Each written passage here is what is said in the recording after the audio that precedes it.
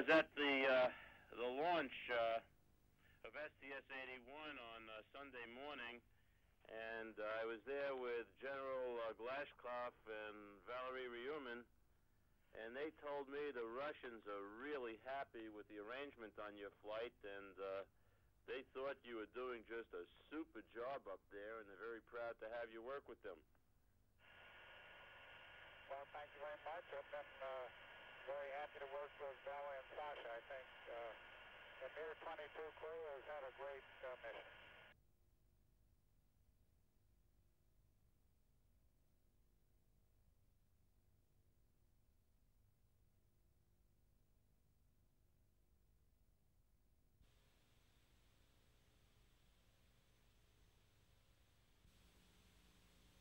Atlantis just three feet away from the Mir.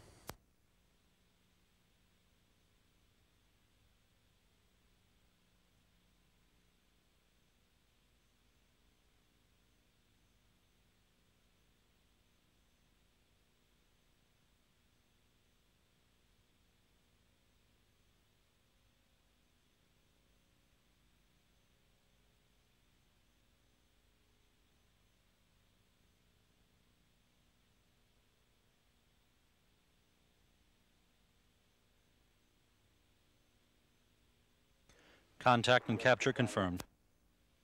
Yeah, you still have contact and capture. Atlantis and Mir joined together for the fifth time, forming a 265-ton space complex for the next five days. Как только произошло касание, ввелся индикаторный режим. Houston Atlantis, we have a ring light, a line light on board. We're waiting the minute.